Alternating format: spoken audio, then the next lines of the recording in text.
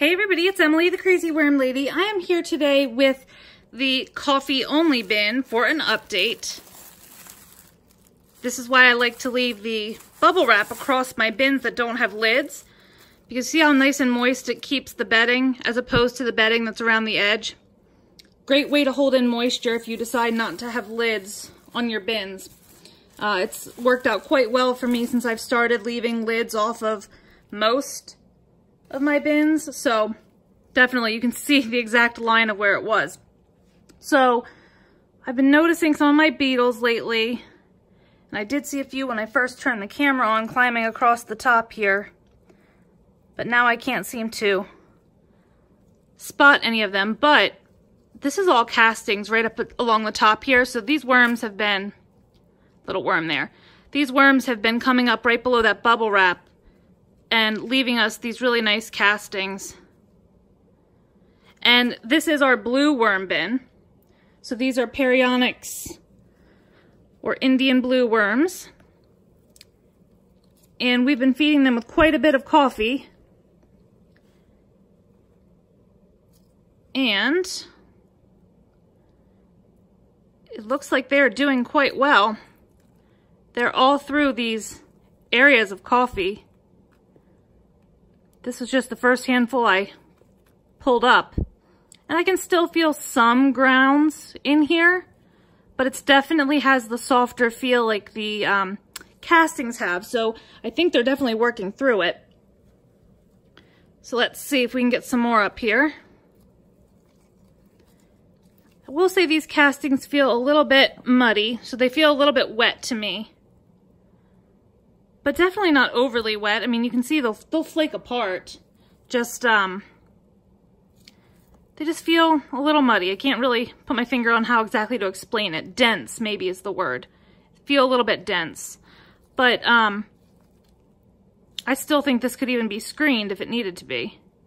But I noticed there's a lot of baby worms, and part of what we wanted to look at with this experiment was whether or not coffee inhibited the reproduction of worms because some people have theorized that and have kind of advised against feeding large amounts of, of coffee to your worms. Um, so for me, seeing baby worms is a pretty good sign that the worms are able to handle it okay. This, I think, is a matted piece of dried up coconut coir, but there's some worms in there, so I'm not going to break it up. They'll work on that on their own. But the worms are really spread all throughout here.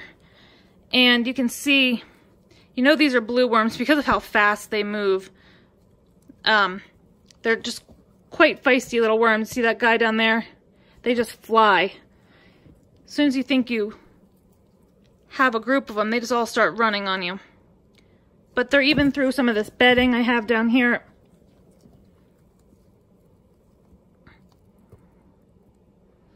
I see a few pot worms. We wanted to kind of monitor if we saw any sort of bug problems. But honestly, this bin has less pests than what I've been seeing in some of my other bins lately because I've been having fruit fly issues um, and beetle issues lately, and I'm not seeing too many of those um, in comparison to what I'm seeing in my other bins. But I'm going to do my typical kind of turn everything up. A lot of people are not into, what are they saying, it fluffing the bin. Um, but I am definitely somebody who likes to fluff the bins up to assess the conditions in the bin. I just feel like it's a really good way to make sure that your bins aren't overfed and to make sure that there's not standing liquid. Now see, this is unprocessed coffee grounds because you can feel it's very gritty. But again, nothing seems seems problematic in here.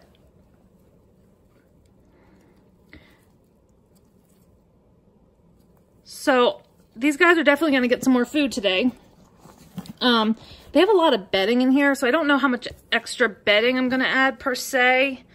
Um, and even though I say it feels dense, it, it parts of it feel dry. It's kind of an odd, I can't really put my finger on how to explain it. It's strange. But like you can see right here, these are a group of juvenile worms. So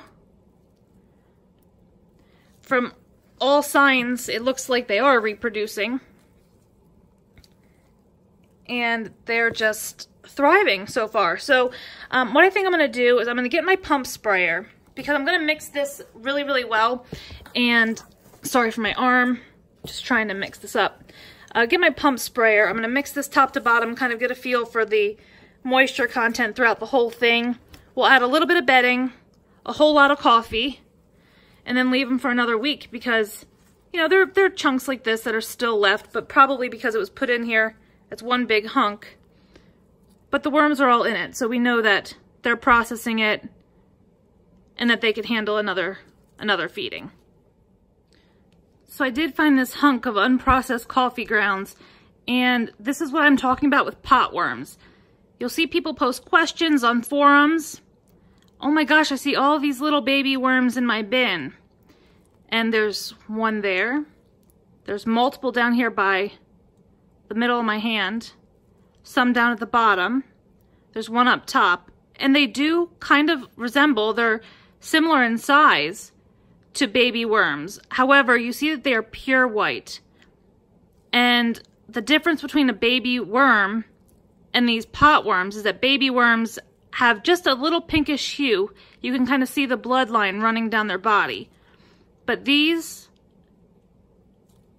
are just pot worms. They tend to be very common in acidic bins, um, but sometimes you can't even really put your finger on what causes them. They seem to love avocado, and to my knowledge, avocado is not really an acidic food. So um, they're not something to be overly concerned with in your bin, but I do like to point out to you guys certain things that uh, are common questions that I see, and one is regarding potworms and what do I do about the potworms?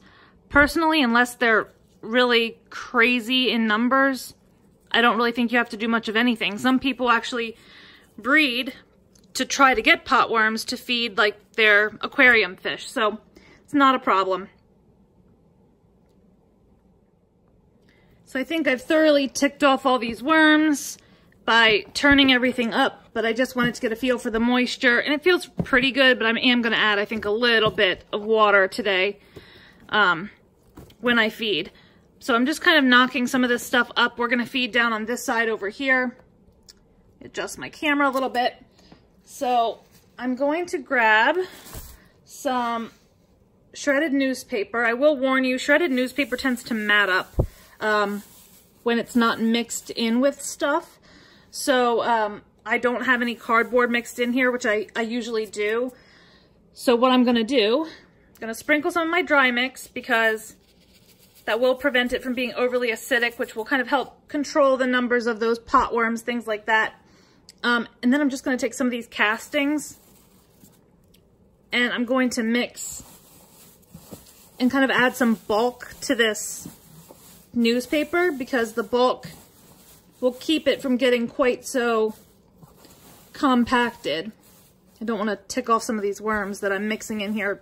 Try to be gentle with them, but they'll be okay, especially when they find out what they're getting fed right now. So I was thinking about feeding a larger feeding, but I think I'm going to hold back from doing too, too much. Um, but I've got lovely, very moldy coffee grounds. I leave these containers on my counter and I fill them as I use them. So some of these grounds sit here for a while before I finally get around to using them in the bins. But that's not a problem. They will eat them all the same.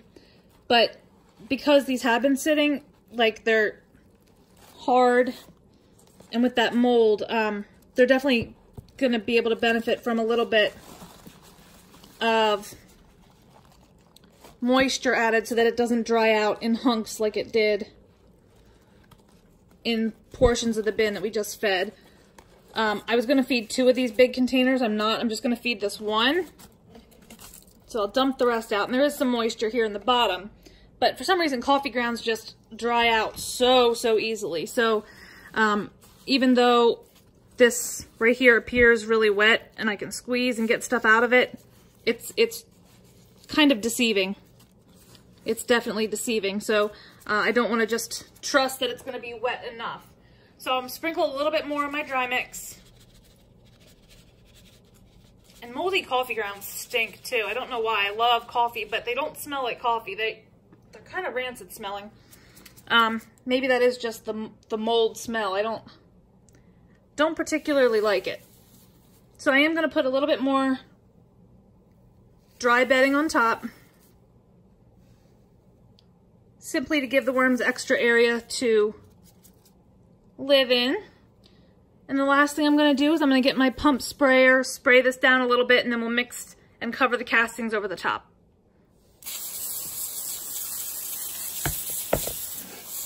I'm just moistening this down. The castings will help hold in the moisture as well, and the fact that we mixed in some bedding beneath, that should also help.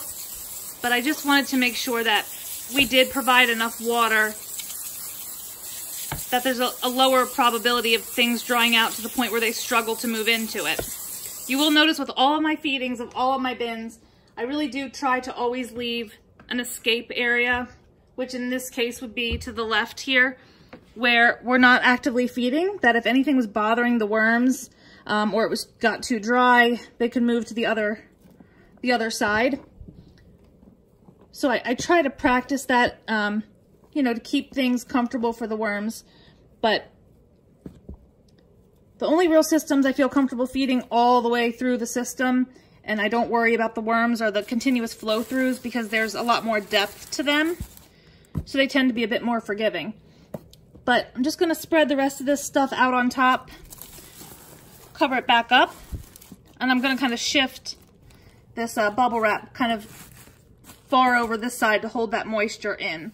So that's going to be it for today, guys. Let me know what you think. And drop those comments below. Let me know what you're thinking so far, if you're surprised with the results or if this is what you expected. Subscribe if you're not a member of my community yet. I would love to have you. And I'll be back to talk with you guys real soon. Have a great day.